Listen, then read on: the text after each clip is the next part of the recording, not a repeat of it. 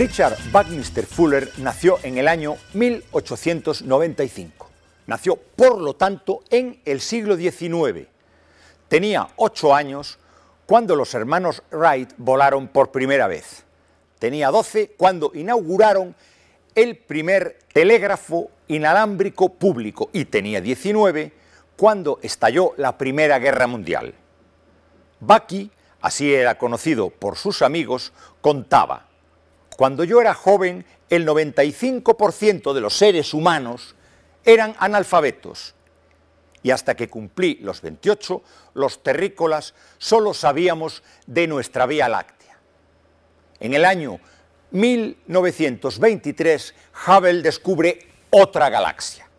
También podemos decir que cuando tenía siete años, Ford inició la fabricación de automóviles en serie. Tenía dos años cuando se descubrió el electrón. Cuando yo entré en Harvard, cuenta Buckminster Fuller, que entonces tenía 19 años, en la materia de física había unas páginas amarillas incluidas al final del libro de la asignatura. Esa nueva sección se llamaba electricidad.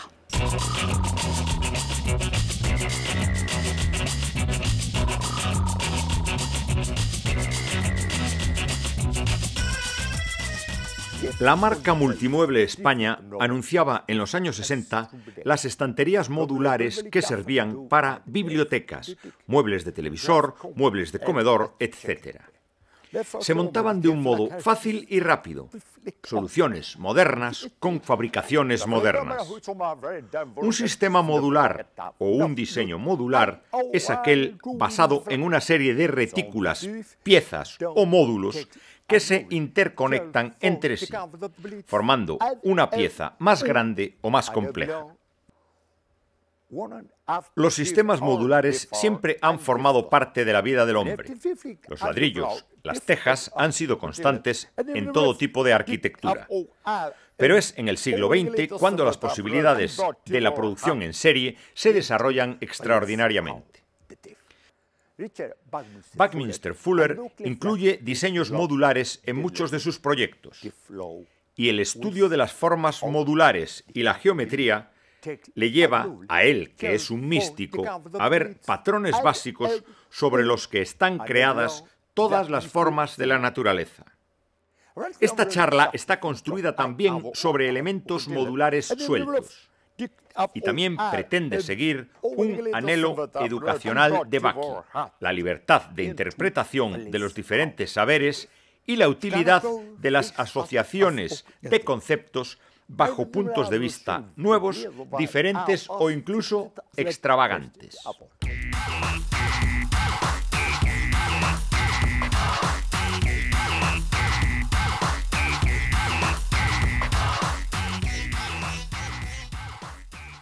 Fue arquitecto, diseñador, inventor, filósofo, pero sobre todo fue un visionario. Richard Buckminster Fuller inventó la cúpula geodésica, sí, pero también se anticipó unos cuantos años algunas de las ideas que hoy están en boca de todos. Sostenibilidad, ecologismo, sinergias. Él concebía el planeta Tierra como la nave espacial en la que viajamos por el universo y a la que tenemos que cuidar con el mimo con el que se harían las revisiones de un vehículo del que dependemos. En definitiva, Bucky, como le conocemos sus amigos, era una de las mentes más claras del siglo XX. Pero hay amigos, los visionarios son gente non grata. Ya vimos en otro de nuestros vídeos las fatigas que tuvo que soportar en vida el otro gran visionario del siglo XIX, Nikola Tesla. Dejo aquí abajo el link para los que queráis revisionarlo. Decíamos, pues, que los visionarios, los que se adelantan al mundo de su tiempo, suelen despertar recelos.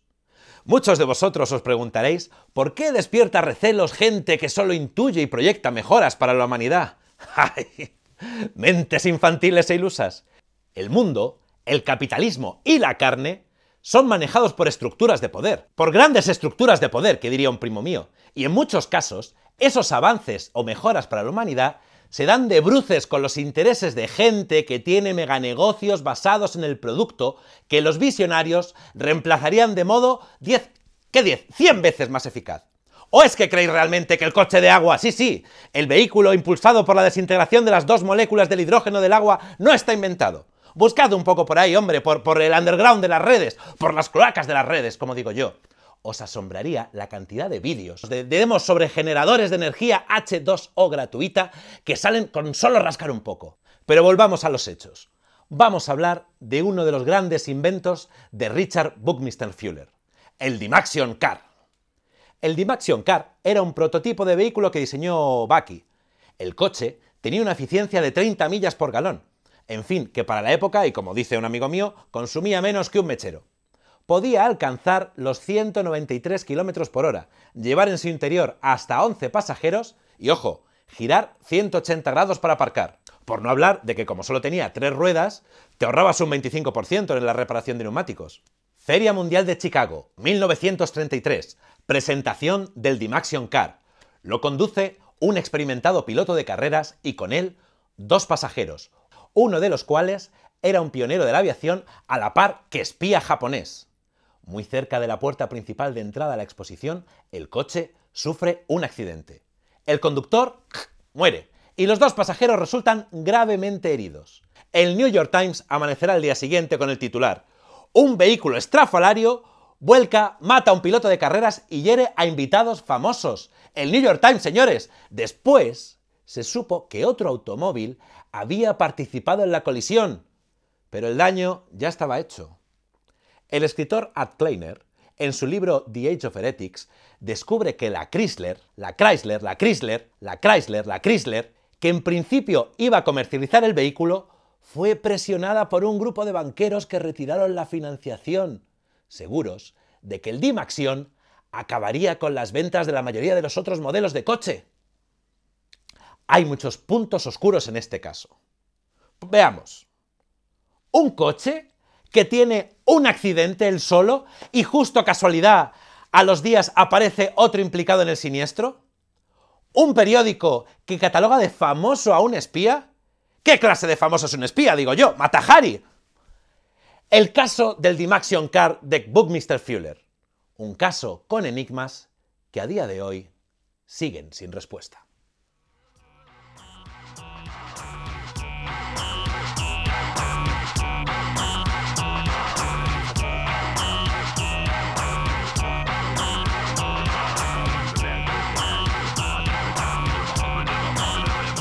En los visionarios suelen coincidir dos características que se retroalimentan para crear un efecto no demasiado positivo.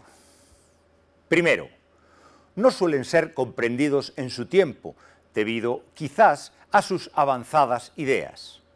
Y segundo, suelen ser mentes inquietas, más dadas a hacer proyectos o a avanzar ideas que a rematarlas lo que en fútbol diríamos, tuvimos ocasiones de gol, pero no se llegaron a materializar.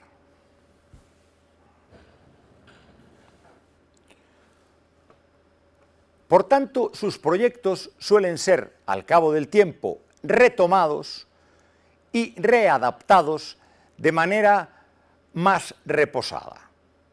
Eso hace que estos genios sean reivindicados al cabo de los años.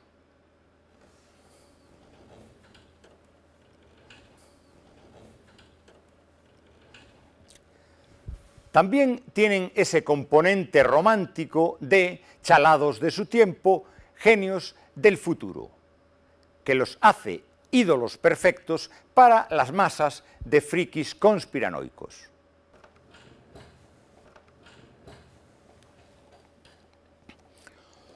Todo confluye en ellos para la distorsión de su personaje. Tan rechazados en su tiempo como idolatrados en el futuro, tan amados por sus fans como odiados por sus detractores.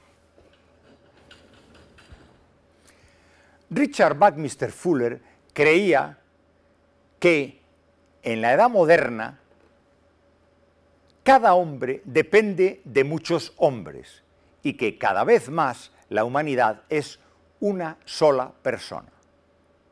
Por tanto, si el avance de un hombre, tarde o temprano, significa un beneficio para todos, el objetivo está cumplido.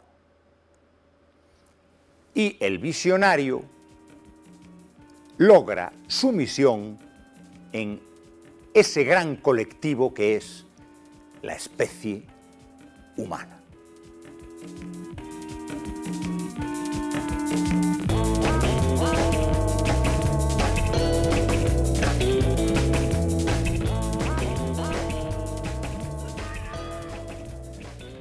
Diccionario Richard Buckminster Fuller para toscos. Volumen 1. Sinergia. Hay un extenso vocabulario de términos Buckminster Fuller. Palabras que en su concepción del mundo, de la ciencia y de la naturaleza humana eran importantes. Una de ellas es sinergia él hizo popular y reconceptualizó el término. Sinergia es una palabra que hoy se emplea frecuentemente.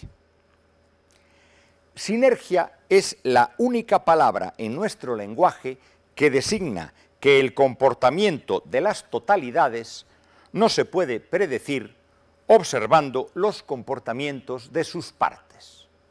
Richard Buckminster Fuller, 1967 normalmente implicaría un efecto extra, con el que no contábamos al funcionar de modo conjunto porque no estaba previsto.